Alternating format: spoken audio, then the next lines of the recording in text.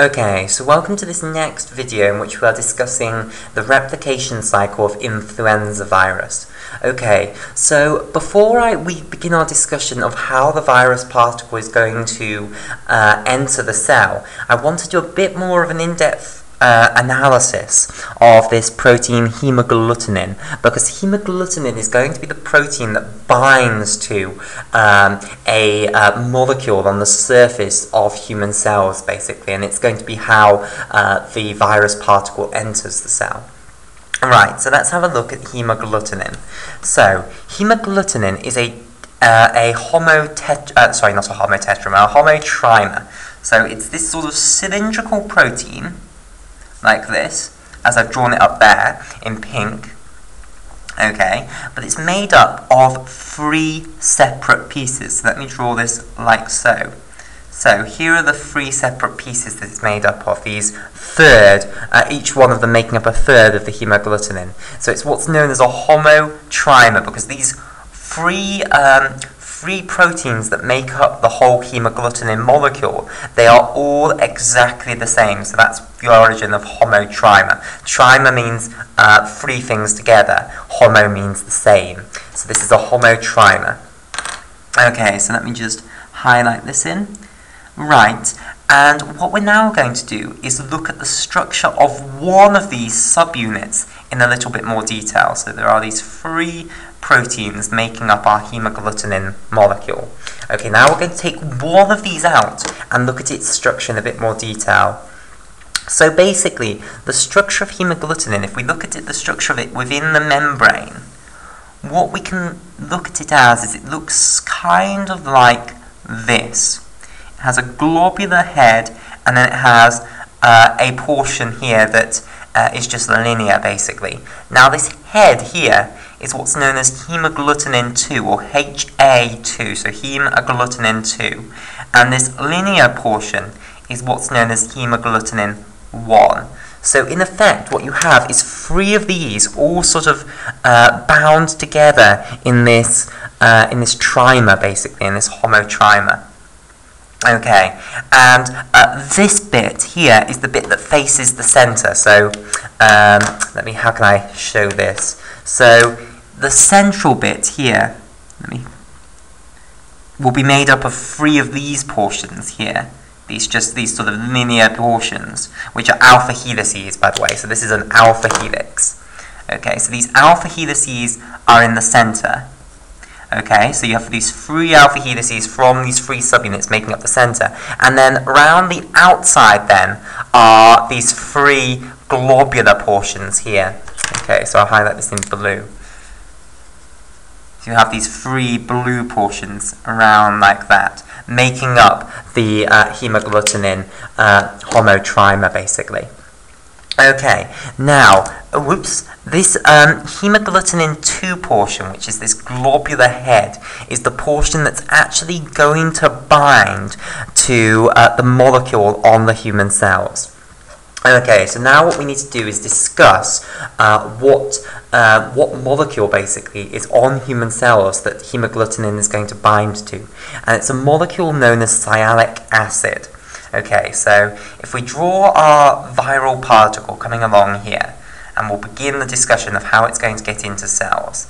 So here's our viral particle, here's our capsid here, okay, right, uh, here's our um, negative sense RNA genome and our uh, RNA-dependent RNA polymerase here. So this is in pink here, okay? And then in turquoise we have our RNA-dependent RNA polymerase. Okay, and then we have our hemagglutinin sticking out here. Okay, so um, the hemagglutinin is going to bind to a sialic acid molecule which is in the membrane of our cell, of our target cell. So let's say this is a sialic acid molecule here. So this is sialic acid, acid, and this basically, this is the cell membrane of the victim cell. So this is the cell that, or the host cell is the fancy way of saying the cell that's going to be um, going to be um, invaded by this virus particle. So, here what we have is this hemagglutinin protein in the surface uh, in the viral envelope of our virion particle. Okay, and this here is sialic acid, and we'll draw sialic acid in blue. Now, it's the hemagglutinin 2 portion that is going to bind to sialic acid, basically. Okay, so hemagglutinin binds to sialic acid, and what now happens, basically, is that the uh, virion is going to be endocytosed by receptor-mediated endocytosis. So, if we draw the whole cell now, just to illustrate this, so if this is our host cell here, what's going to happen is that this is sort of going to invaginate in and it's going to swallow the virus particle. So let me show this in another picture here. So it's going to swallow the virus particle like so. Okay, so there's our cell now. Here's our virion particle again, with our nucleocapsid in the center. So this capsid here with the negative sense RNA and the RNA-dependent uh, RNA polymerase still at the center there. So there's our enzyme there. Here's our RNA depend uh, sorry our RNA genome in turquoise, and now here's our hemagglutinin protein here bound to our sialic acid in the membrane of the cell. Okay, and what you can see is that it's gradually endocytosing this uh, virion particle into uh, the cell, basically. So what eventually is going to happen is uh, that you're going to have a cell, let me show this now. Uh, in fact, I'll go over the page to show this. What is eventually going to happen is that the whole virus is going to be taken into an endosome, basically. So let me show this. If we have our cell here, our host cell that's going to be attacked by the virus, then inside that host cell you will now have an endosome, okay, which was made up, uh, which was made from the, um, uh, obviously it's out of proportion, but it's to show you the point, um, which was made from the plasma membrane of the cell, and then in here is going to be our uh, influenza virus particle here. So here's the viral envelope, here's the uh, nucleocapsid in the center here. Here's our um, RNA genome, our negative sense RNA. Here's our RNA-dependent RNA polymerase. So let me cover things in.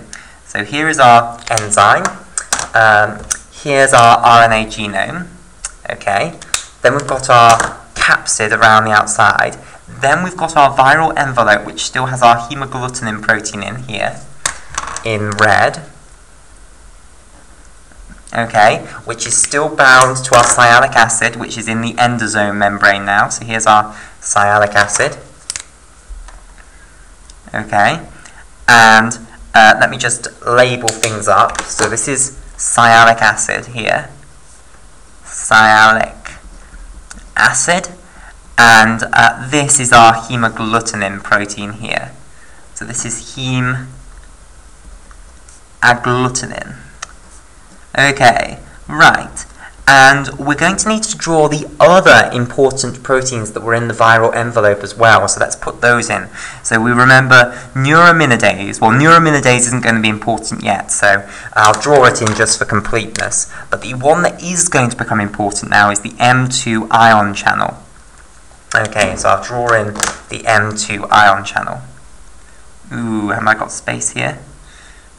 Have a go. There's our M2 ion channel, okay? And remember, it's a it's going to allow protons basically to move through it. We'll have the M2 ion channel in orange here. Okay, so in orange we have the M2 ion channel. So let me label those two up as well. So this is neuraminidase, which will become important much, much later. Neuraminidase. Minidase. And uh, this then is the M2 ion channel here. So the M2 ion channel. Now, uh, it's a normal physiological process, endocytosis. What happens when we endocytose uh, things? What do we do to endosomes? Well, the general thing that we do is we, in, uh, we pump protons into them, basically. We acidify them. So what starts happening is we start raising the proton concentration in this endosome. So let me show uh, protons in with this yellow color here. So what's going to happen is we're going to keep pumping in protons into this endosome like so. Okay? From the cytoplasm of the cell. So we're going to raise the concentration of protons, I hope that those are visible on the camera. We're going to raise the concentration of protons. If not, I'll just write protons to show that we're pumping in protons into this endosome. So we're acidifying the endosome. Okay, now something important now happens to the hemagglutinin protein. When you lower the pH of the endosome, which is the same thing as pumping in protons, a higher proton concentration means a lower pH, a more acidic pH. Okay, when the pH goes down to around 6, so when the pH gets to 6, which is getting more acidic, it's acidic of neutral basically, it's lower than 7, which is generally taken to be the neutral pH. Okay, um, then what happens is hemagglutinin changes conformation. Now if I remind you of the structure of hemagglutinin, remember hemagglutinin consisted of this homotrimer, so I'll draw it out here. So it consists of this homotrimer of these three hemagglutinin proteins. And then if we looked at the structure of a single one of these hemagglutinin proteins, it was like so. We had this hemagglutinin 2 head here, and this hemagglutinin 1 uh, tail here. Now what's going to happen when the um, when the pH goes down to 6, what's going to happen is that the hemagglutinin uh, mon monomer here is going to change conformation so that it adopts a conformation that looks more like this basically. It sticks these uh, fusion peptides, as they're called, out. So this is what's known as a fusion peptide, and it is hydrophobic, so it interacts well with phospholipid bilayers. So this is a hydrophobic fusion peptide. Okay, so what's going to happen is that um, this hemagglutinin molecule here is going to stick out um, stick out these fusion peptides which are going to go into the membrane of the endosome. So let me highlight the endosome membrane. So in pink here, this is the endosome membrane. The membrane inside of that is the viral envelope that's been swallowed into the endosome. Okay, so hemagglutinin is now going to stick out fusion peptides into this um, membrane. And because there are three subunits of hemagglutinin, you're going to have three uh, fusion peptides coming out into this membrane. Now, um, what will now happen is that the rest of hemagglutinin will then change conformation later so it stuck the fusion peptide out. The fusion peptide is now in the um, endosome membrane. What's going to now happen is hemagglutinin will change conformation again, and it will start to retract the fusion peptide. So it will start to go back to a state like this. But the fusion peptide is now in this membrane here.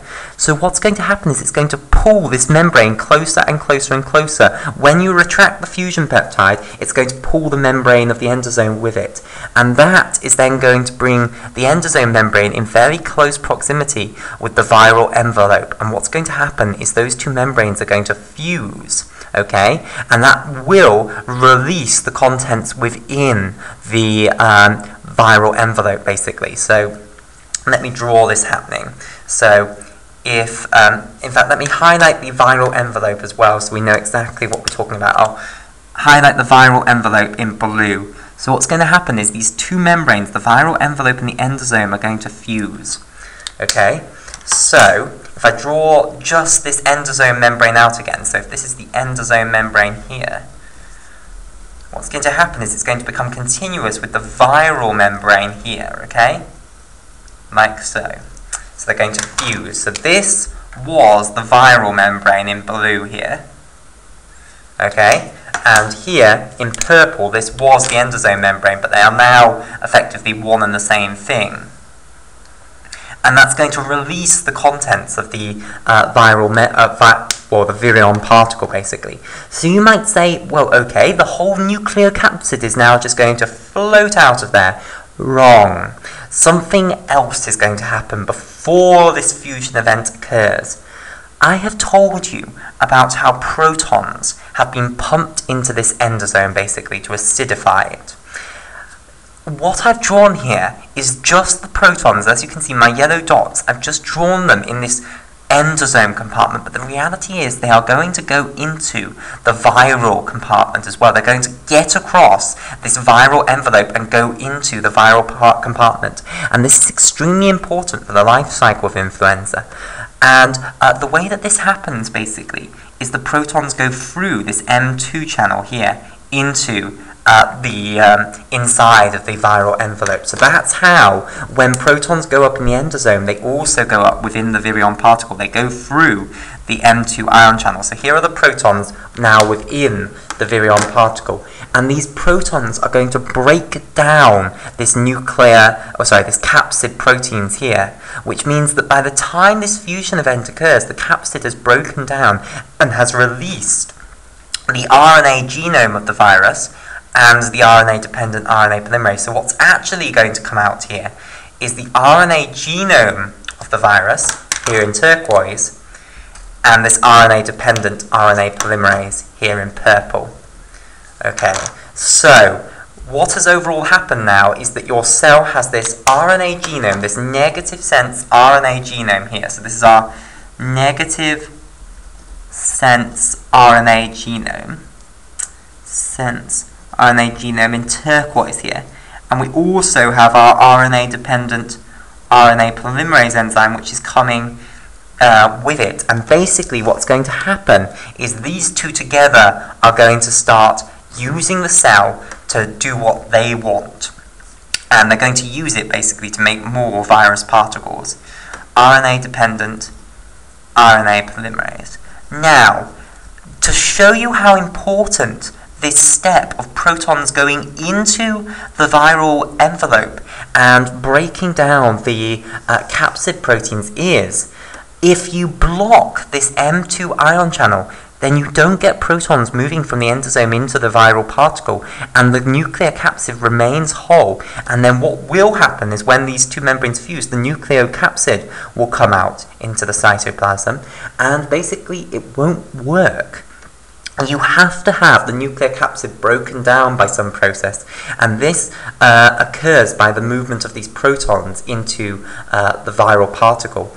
And if you block this M2 ion channel, which you can do with certain drugs, then it's that it that stops the uh, influenza viral replication cycle, uh, and it's um, these drugs are used clinically. So the two drugs which are capable of doing this are amantadine, amantadine, and rimantadine is the other one.